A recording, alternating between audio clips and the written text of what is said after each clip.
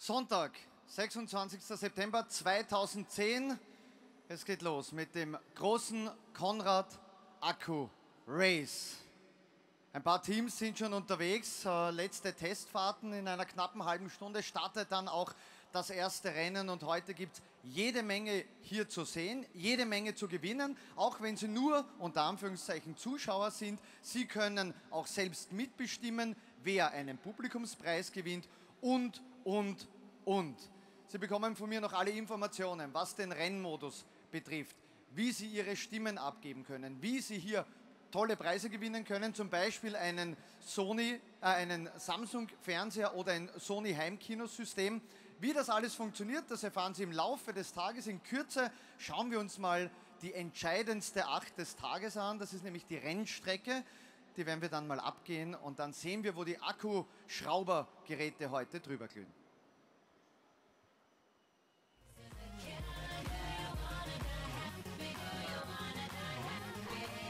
Beim Konrad Akku Race sind heuer über 40 Teams am Start und ich würde Sie, die Sie hier schon sehr interessiert durch die Boxengassen gehen, jetzt den ganzen Nachmittag bitten, schauen Sie sich an, welche Teams gibt es, wie schauen die Vehikel aus, was ist der Geist, was ist die Idee dahinter und stimmen Sie ab. Es gibt eine Publikumswertung, das ist mal der erste ganz wichtige Punkt für Sie. Es gibt eine Publikumswertung, wo Sie mit zwei Beilagscheiben dem Team, das Ihnen am besten gefällt, Ihre Gunst erweisen können. Wie tun Sie das? Sie nehmen diese Beilagscheiben und kommen dann zum Informationstisch. Dieser Informationstisch findet sich direkt ähm, ja, auf halber Höhe der Rennstrecke und davor finden Sie Gläser. Gläser, in denen diese Beilagscheiben gesammelt werden. Und Sie haben sicher schon erraten, wer die meisten Beilagscheiben hat, der gewinnt. Also, Sie brauchen auch jetzt nicht mit den Beilagscheiben sofort hierher starten. Schauen Sie sich in Ruhe alles an. Also treffen Sie eine weise Entscheidung, welches Team dann den Publikumspreis mit nach Hause nehmen kann. Und wie Sie gewinnen, verrate ich Ihnen in Kürze. Davor schauen wir uns mal die Rennstrecke an. So, jetzt befinde ich mich also am Start dieser Achterschleife. Die Achterschleife, die für viele Teams heute hier entscheidet, ob Sieg oder Niederlage erfolgen. Wir starten hier an der Rampe, es geht mal steil bergab. Sie sehen, es werden noch die eine oder andere Testfahrt vorgenommen. Also wenn man hier als Moderator arbeitet, ist es durchaus, äh, möchte nicht sagen lebensgefährlich, aber zumindest beinbruchgefährlich. Wow, wow, wow, wow, wow. Team Nummer 15 stellt sich bereits sehr charmant vor. Achten Sie auf diese Dame, die ist rasant, schnell unterwegs. Könnte ein Geheimtipp sein. Also, wir kommen hier auf diese Achterschleife äh, zu einem aufgeblasenen Akkuschrauber, damit das auch ja niemand übersieht. Die Strohballen hier übrigens sind nicht Show, sondern die sollen tatsächlich dafür sorgen, damit niemand, der sich zwanglos von der Strecke begibt, sich wehtut. Soll schon vorgekommen sein, also nicht, dass sich jemand wehgetan hat, aber dass sich jemand zwanglos von der Strecke entfernt hat. Also eine Acht ist, glaube ich, auch durchaus möglich, sich das vorzustellen. Wir starten dort, fahren hier einmal ähm, quer, umrunden das. Jetzt wird es etwas zum Mitdenken. Also wenn ich das erste Mal durchs Ziel fahre, bin ich noch nicht in eben jenem, sondern ich muss noch eine zweite Runde fahren. Das heißt, erste Mal Ziel, bitte noch nicht jubeln, da kann noch einiges passieren. Wir fahren zurück und äh, die Rennläufer unter Ihnen haben sicherlich schon erkannt, was hier passieren könnte.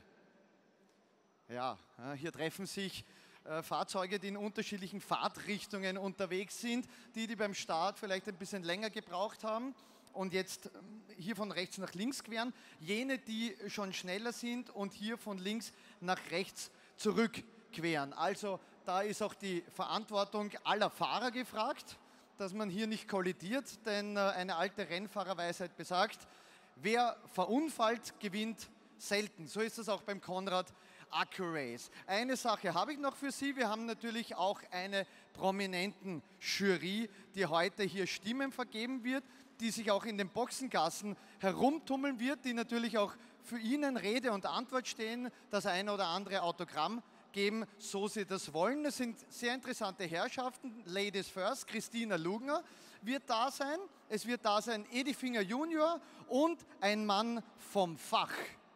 Hans-Joachim Striezel-Stuck. Der Mann ist Formel 1 gefahren, ist äh, 24-Stunden-Rennen-Sieger in Le Mans und ist mit dem Rennsport sozusagen verwachsen. Also, diese Promis werden da sein, werden sich ihre Favoriten aussuchen und werden auch für Sie zur Verfügung stellen, um mit ihnen zu fachsimpeln.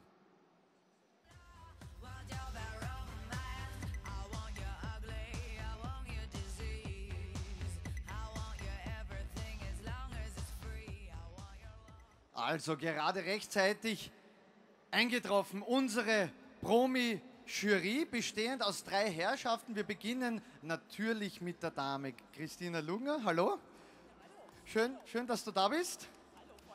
Edi Finger Junior, ein Mann, der im Fußball zu Hause ist, im Skifahren und natürlich im Motorsport. Und Hans-Joachim Striezel-Stuck, ein Mann, der weiß, wie man so ein Gefährt lenkt und uns alle noch mit Fachsimpeleien ein bisschen hinter die Kulissen schauen lassen wird. In knapp ja, drei, vier Minuten geht es hier los. Also, Teams an den Start. Wir starten das Konrad Acker Race in Kürze.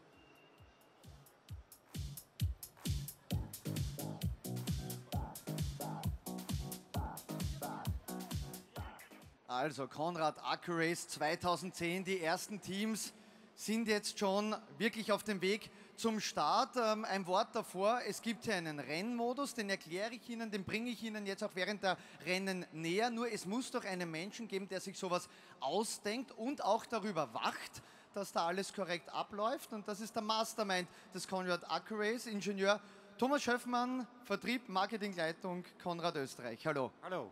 Hallo. Thomas, worauf wird es heute ankommen? Heute kommt es darauf an, dass diese wunderbaren Konstruktionen und das ist mein Beginn Herzlichen Dank an die Teams, was die auf die Beine gestellt haben. Sensationell. Ein großes Lob. Die erfüllen das, äh, diese Veranstaltung mit Leben. Wunderbar.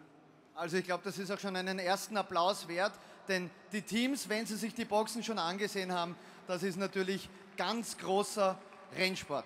Thomas, bei den Rennen, worauf müssen wir jetzt, worauf muss der Zuschauer jetzt ganz genau achten? Ja, das ist eine Veranstaltung des Geistes, der Fantasie. Schaut euch die Gefährte an. Wirklich tolle Konstruktionen von der Bierkiste über Snowboard, Dreiräder, Go-Karts. Es ist unglaublich, äh, was die Leute hier auf die Füße gestellt haben. Wir haben hier äh, Mitbewerber aus sechs Bundesländern, Gäste aus Deutschland und aus Holland. Ich freue mich darauf und in diesem Sinne lasst die Schrauber richtig glühen. Dankeschön, Thomas die Schrauber, die werden glühen. In wenigen Augenblicken startet das erste Rennen. Ich bitte jetzt die Teams 1 bis 4 schon zur Startposition, damit wir in wenigen Sekunden loslegen können. Und jetzt auch die Bitte ans Publikum, ganz nah an die Strecke kommen. Suchen Sie sich den besten Platz, denn jetzt fliegen hier nicht nur, wie wir gehört haben, Snowboards und Bierkisten, sondern möglicherweise Reifen, Emotionen und noch viel mehr.